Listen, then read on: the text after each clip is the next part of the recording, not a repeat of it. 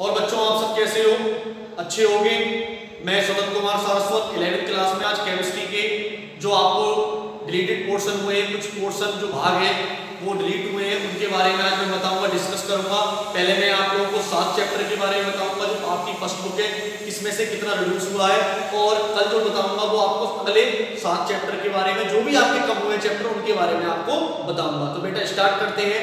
जैसा कि मैं बताऊँगा आपको केमिस्ट्री में हमारे जो चैप्टर थे, पहले वो चौदह थे, लेकिन अब जो घटके हो गए वो आपके बारह हैं मुख्यता तो जिसमें कि हम आज पहले बात कर रहे हैं कि पहला जो चैप्टर है, वो आपका है विज्ञान की कुछ मूल अवधारणाएँ जिसमें से कुछ टॉपिक आपके हटा दिए हैं, सामान्य परिचय, जिसे हम पहले भी पढ़ चुके हैं द्रव की कणिक प्रवृत्ति, हम पहले भी पढ़ चुके हैं, कणों की प्रकृति, रासायनिक संयोजन के नियम डाल्टन का परमाणु सिद्धांत, तत्व परमाणु अणु की अवधारणाएँ, जिनके कुछ भागों को नाइन्थ क्लास और टेंथ क्लास में ही पढ़ चुके हैं, जिसकी वजह से इस पोर्शन को कोरोना की वजह से 30 परसेंट जो सिलेबस रिड्यूस हुआ उसमें से इस पोर्शन को हटा दिया गया है। और कुछ भी जो पोर्शन हटे हैं, वो आपको विधिवत रूप से यहाँ पर दिखाए गए हैं। तो आपको फ़र्स्ट चैप्टर जो रसायन विज्ञान की मूल अवधारणा है, उसमें से समान परिचय द्रव की खनिज प्रवृत्ति, रासायनिक संयोजन के नियम, डाल्टन का परमाणु सिद्धांत और तत्व परमाणु और उनकी अवधारणा को हटा दिया गया इसको आपको नहीं पढ़ना है फिर भी आप लोगों को लगता है कॉन्सेप्ट है। हम आपको जब पढ़ाएँगे तो समझाएँगे, लेकिन समझाएँगे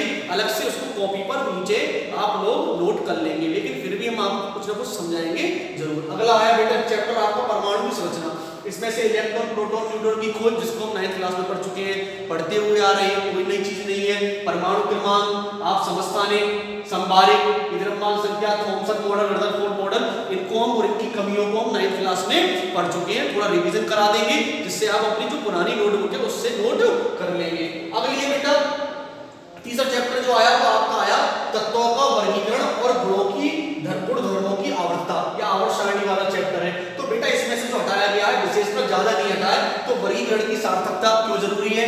आवर्त सारणी के विकास का संक्षिप्त इतिहास, क्योंकि आवर्त सारणी के विकास का जो जो हमारा इतिहास है, इसको हम टेंथ क्लास में पढ़ चुके हैं। लेकिन अब हम जो पढ़ेंगे, इसको एक बड़े रूप में एक इसको टेबल की वाइज और अलग प्रकार से पढ़ेंगे। तो इसमें से कम पोर्शन हटाया गया है। अगला जो चैप्टर है बेटा, आपका चौथा रासायनिक आवंत एवं आणविक संरचना। इसमें से कोई भी पोर्शन को टच नहीं किया गया है, क्योंकि ये चैप्टर इतना इंपोर्टेंट है आने वाले कंपटीशन के लिए, आपके बड़ी क्लासों के लिए। साथ ही साथ जब आप कोई अलग पोस्ट ग्रेजुएशन या ग्रेजुएशन कोर्स करोगे तो इसमें से ज़रूर टॉपिक आते हैं। ऐसे समझ लो कि बहुत इंपोर्टेंट चैप्टर है एटॉमिक स्ट्रक्चर और रासायनिक आवंत वाला और आणविक संरचना वाला केमिकल बॉन्डिंग वाला बहुत इंपोर्टेंट टॉपिक है। ठीक है बेटा? तो ये इसमें से ये आपका इतना पोर्शन रिलेटेड हुआ है।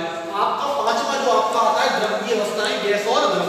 तो इसमें से जो हटाया गया है, वो गैसों का द्रवण, क्रांतिक ताप, गतिज ऊर्जा आणविक वेग द्रव अवस्था वास्तव श्यांता प्रस्तनाव ये जो वास्तव श्यांता प्रस्तनाव है इनको आप थोड़ा फिजिक्स में भी पढ़ चुके हो तो इसमें से इन वाले पोर्शन को डिलीट कर दिया गया है। तो छठा चैप्टर आता है बेटा ऊष्मागतिकी ऊष्मागतिकी का कुछ पार्ट हम फिजिक्स में भी पढ़ेंगे। ठीक है बेटा?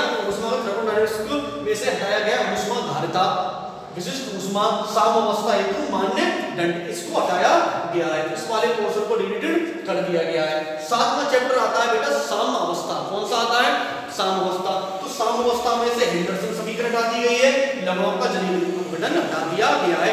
इस वाले चैप्टर में भी कुछ ऐसे पोर्शन है जिसको आप हाई स्कूल में पढ़ेंगे। तो अगली बार जब वीडियो बनाऊँगा तो सात चैप्टर का आपका जो पोर्शन डिलीट हुआ है, जो भी है, उनको बारे में मैं बताऊँगा। तो इसमें से आपका जो मुख्य चैप्टर है रासायनिक आवंत एवं आणविक संरचना, ये बहुत इंपॉर्टेंट है बेटा, ठीक है? और इसको नोट कर लेंगे। और जो सिलेबस है, आपके नेट में भी पड़ा हुआ है, हमने आपको ग्रुप में भेज दिया, वहाँ से भी नोट कर सकते हैं। धन्यवाद।